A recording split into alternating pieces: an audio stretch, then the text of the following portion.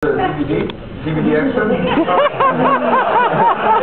Put your orders in. I didn't realize I said that out loud. You talk about- You talk about the, the galactic action of dying, I thought those scenes were so powerful with, um, you saw Dama in the flight, you got it, by the way. Is that right?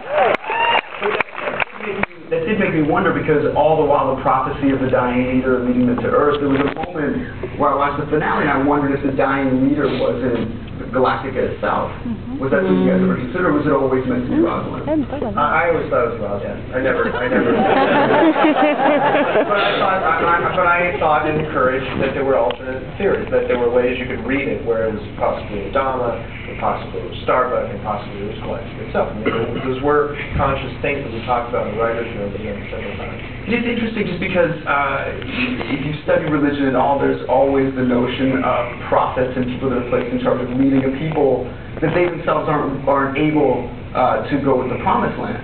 You know, whether it was uh, Moses or, or uh, Abraham, you know, um, just the, the, the people that are meant to lead that can't actually be a part of the delivery themselves. And- Well, that was, initially, that was, and for quite a while, the thinking of Laura, was that she was not going to make it to the promised land. I thought, I, when I talked to Mary in the first conversation, I said, you're going to be Moses and you're not going to make it to Earth.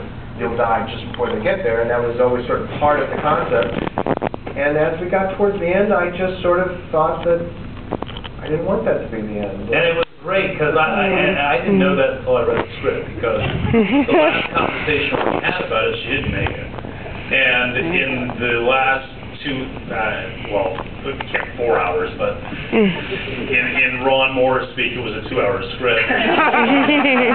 Uh, She did, and, and, you know, died in this very elegant sort of way at the very last moment, and, you know, I thought it, it was a way of sort of abiding by the original concept and yet giving the audience something to feel, uh, connected to, you know, you, you, you just wanted her to get there. You wanted-